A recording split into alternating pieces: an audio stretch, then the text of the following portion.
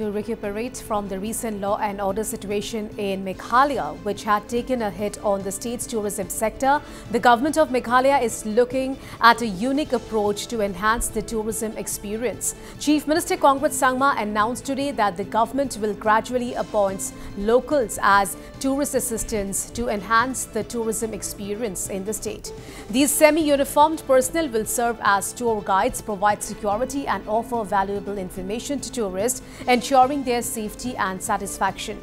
This initiative is also expected to create job opportunities for local youths.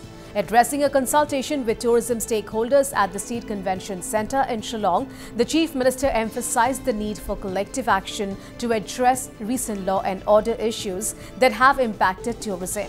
He urged everyone to work together to foster a positive environment for tourism growth. Notably, the recent prohibition on tourist taxis coming from outside the state had taken a massive toll on the tourism sector, with stakeholders reporting massive losses during the few days of disturbances. Yes, more roads are required. I don't disagree to that. But then you will also be happy to know that uh, we have made three times more roads in the last five years than were made in the last 20 years. So that's the large number of roads we have made uh, in the last six years.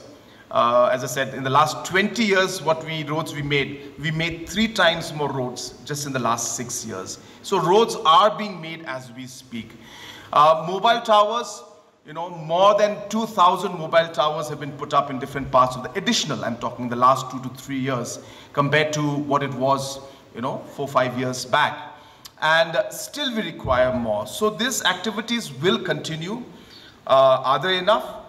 Absolutely not. We need to do more. We need to be maybe more specific. We need more details on the high tourist zone areas and develop those roads. And if there is any gap and shortcoming in very important connectivity roads, I'll be happy to ensure that we take it up. With this Mawlynnong area, which was mentioned by the Rangbah Shnong out there, I think it's critical.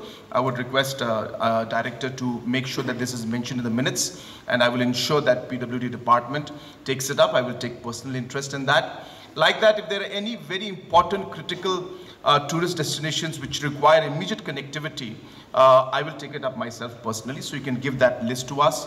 Mobile towers also, if there are very, very critical locations that are there, please do let us know.